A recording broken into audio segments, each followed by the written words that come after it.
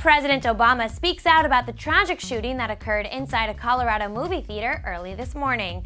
Our hearts feel extremely heavy this morning following the news that James Holmes opened fire inside an Aurora, Colorado movie theater at a midnight screening of The Dark Knight Rises. At the time of this report, 12 moviegoers were killed, while 38 are injured.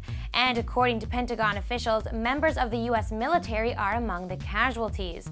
The suspect has been identified and arrested as James Holmes, a 24 year old male who the University of Colorado at Denver confirms was a student at the CU School of Medicine. He withdrew last month. President Obama spoke out about the massacre this morning in Florida during a campaign stop, saying, quote, There's going to be other days for politics. This, I think, is a day for prayer and reflection.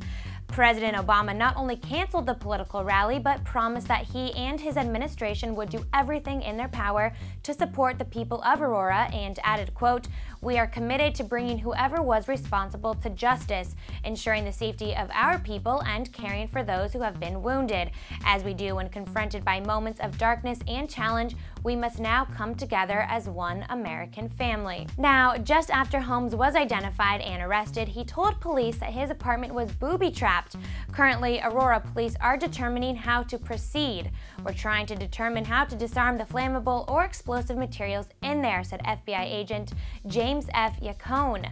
The pictures are pretty disturbing as far as how sophisticated it is. This could be a very long wait. Now, the New York City Police Department is providing extra security at theaters where The Dark Knight Rises is playing, and hopefully other cities will follow suit.